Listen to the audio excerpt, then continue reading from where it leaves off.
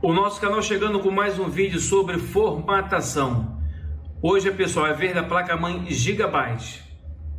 Em tela para vocês o modelo dela é uma Gigabyte M68T-S2P. Ele precisa de uma formatação e também de uma manutenção que está todo sujo.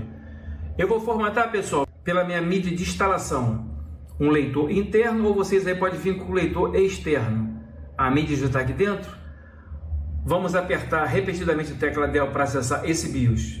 O Enter nesse primeiro menu que vem as informações do BIOS aqui. DDR3 é a sua memória. Um ESC para voltar. Vamos alcançar o segundo menu e dar o Enter. Aqui vem as informações dia, mês e hora e o seu dispositivo de HD e o seu leitor. Aqui na data e hora pressionam Enter e depois vocês pressionam o sinal de mais ou menos para vocês avançando com a data e hora. Descendo com as setas direcionais, nessa opção aqui nós vamos deixar nessa aqui, todos os erros com as setas direcionais para cima, dá o Enter, agora o mais para voltar e vamos chegar nessa opção aqui avançada. Na opção avançada vamos descer com as setas direcionais e vamos chegar aqui até a primeira opção de boot. Aqui nós vamos selecionar o nosso dispositivo de boot. No caso, eu vou deixar em CD-ROM, que eu estou vindo pelo leitor interno. Se você estiver vindo pelo pendrive, você seleciona o pendrive como primeiro. O segundo e o terceiro não faz diferença. Pode deixar no HD. Agora vamos apertar o F10 do teclado, que vai aparecer a caixinha para confirmar e o Enter. Vai prosseguir a nossa ordem de boot, fazendo o carregamento do dispositivo. Já já ó, vamos aparecer aqui o nosso gravador, vamos dar o Enter. Confirmou a ordem de boot. E logo em seguida apareceu o logotipo do Windows 10. Ele está fazendo um carregamento do sistema, ele faz totalmente uma verificação para ver os componentes do seu computador e também a leitura do seu, dos seus arquivos do pendrive bootável ou sua mídia de instalação. Tem que aguardar que ele fica fazendo a verificação total e já já aqui embaixo vai fazer o carregamento do sistema, onde vai prosseguir com a, a nossa instalação. Se inscreva no nosso canal, dúvidas, perguntas e sugestões vocês deixam na parte de baixo do comentário, que assim que possível nosso canal responde para todo mundo. No decorrer do vídeo, se estiver gostando, pessoal, vocês deixam aquele like que vai estar confirmando para o YouTube aí que nosso canal está ficando maneiro. Já já vamos fazer o carregamento aqui, ó. Vai aparecer nessa posição mais ou menos aqui. O carregamento do nosso dispositivo bootável. Ele está fazendo a leitura. Ó, já apareceu ali embaixo. Agora vai aparecer a tela do Windows 10 para prosseguir com a instalação. Então tá aí, pessoal. Logotipo do Windows 10 e vamos prosseguir com as primeiras configurações para a gente poder fazer a instalação do Windows 10.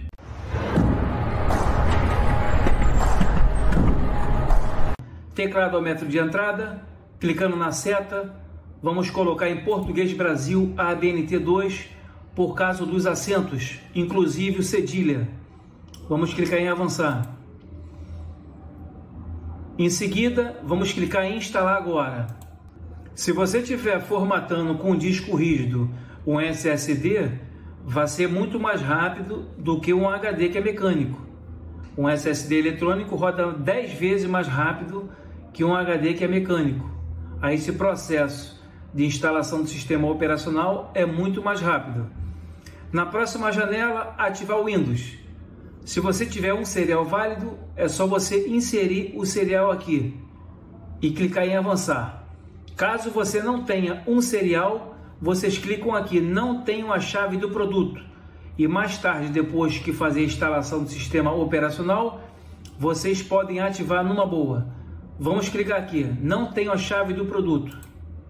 Escolha o sistema operacional que você quer instalar na sua máquina. São quatro versões aqui que eu tenho. A versão Pro, Education, todas as linguagens e a versão Home. As arquiteturas, todas elas estão aqui em 64 bits. Vamos selecionar uma versão e clicar em avançar. Na próxima janela, avisos e termos de licença aplicáveis. Vamos marcar aceito os termos de licença e clicar em avançar. Que tipo de instalação você deseja? Atualização ou personalizada? Vamos dar um clique aqui em personalizada. Chegamos na área do armazenamento da sua máquina, que é o disco rígido. Pode ser o seu HD ou o seu SSD. Aqui eu tenho aqui duas partições, ó, sistema e primário. Eu vou excluir todas as partições e fazer uma partição limpa dentro do sistema. Se você tiver uma partição aqui que você queira preservar ela, que tenha os seus backups, tipo a C2 ponto, que é o sistema operacional, e uma D2 ponto, que é o seu backup, você pode preservar essa última partição. Caso contrário, se você não quiser preservar, você pode excluir todas elas, selecionando uma partição e clicar em excluir. Selecionando outra partição e excluir. Selecionando a próxima partição, clicar em excluir. O nosso disco rígido ele vai ficar como não alocado. Então, para a gente poder fazer uma instalação correta, nós temos que aplicar uma partição. Vamos clicar em novo, clicar em aplicar, em OK ela vai criar uma partição do sistema e uma partição primário. A partição primário é sempre onde é instalado o sistema operacional. Selecionar uma outra partição, ela vai dar erro. O disco, o Windows não pode ser instalado nessa partição. Então, quando você seleciona a partição primário, você nota que aqui embaixo não tem erro, alerta do sistema. E vamos clicar em avançar.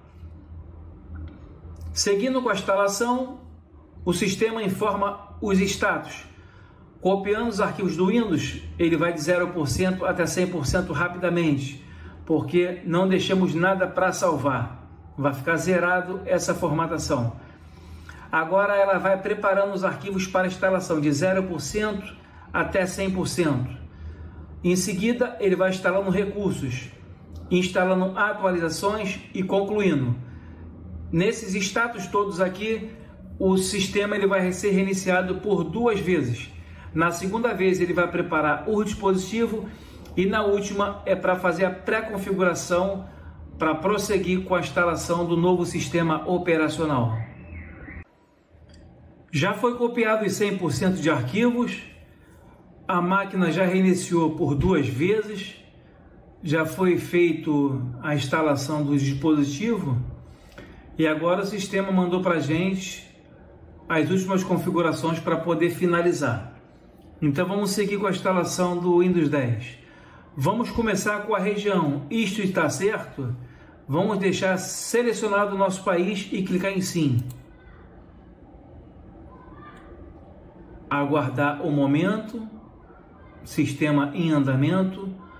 Estamos no momento nos procedimentos básicos das primeiras configurações.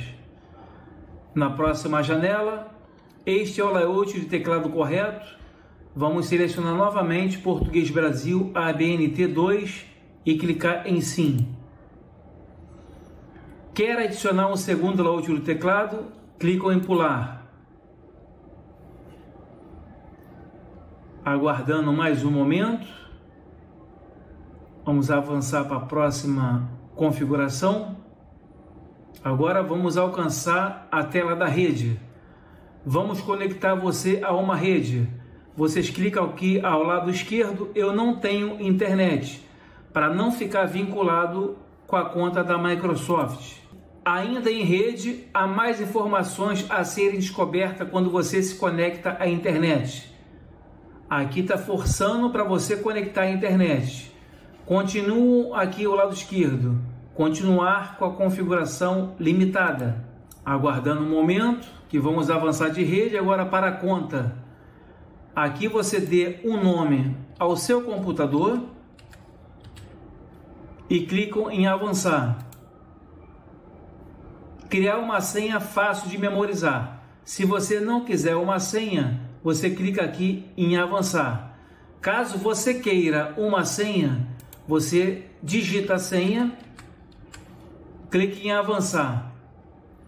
Confirme a sua senha, repete a mesma senha e clica em avançar.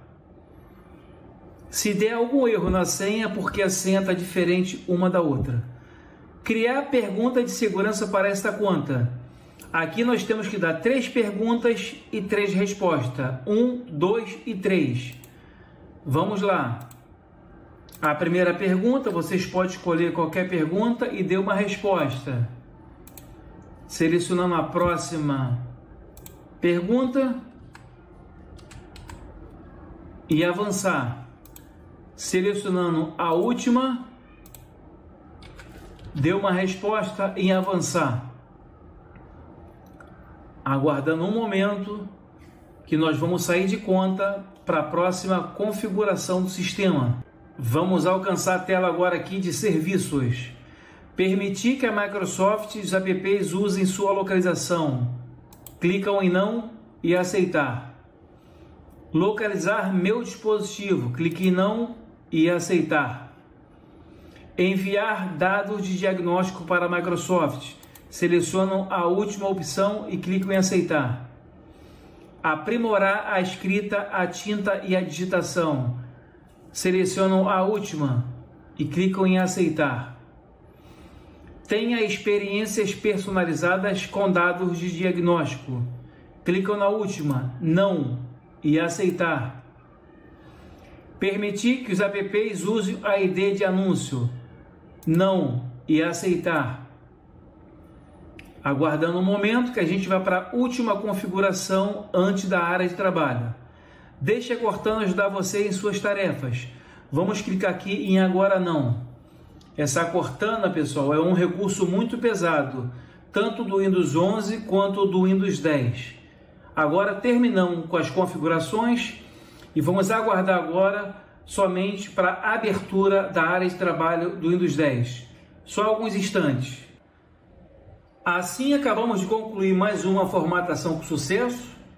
Agora somente você instalar os aplicativos que vocês usam, instalar a sua impressora, instalar os navegadores para o uso da internet e outras coisas que vocês usam aí na sua máquina.